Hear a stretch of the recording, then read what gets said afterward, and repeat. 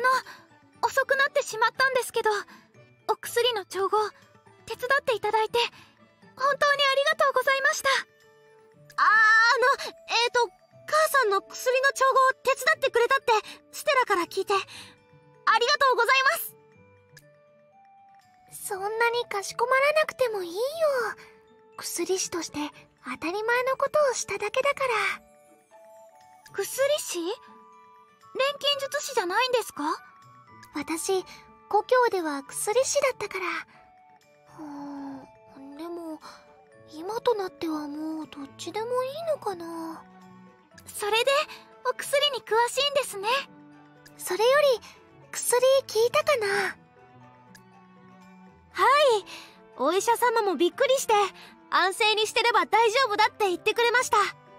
そうあの薬じゃ多分完璧には効かないと思うの。急な悪化はどうにかなったと思うけれど。そうなんですか？風邪くらいならいいけれど患者さんも見ないで難しい薬を作るなんてキースさんは全く。アーシャさんってキース・グリフさんと親しいんだ。だからね今度近いうちにお母さんの様子見せてもらえる？もちろんです。アーシャさんよろしくお願いします。よかったね。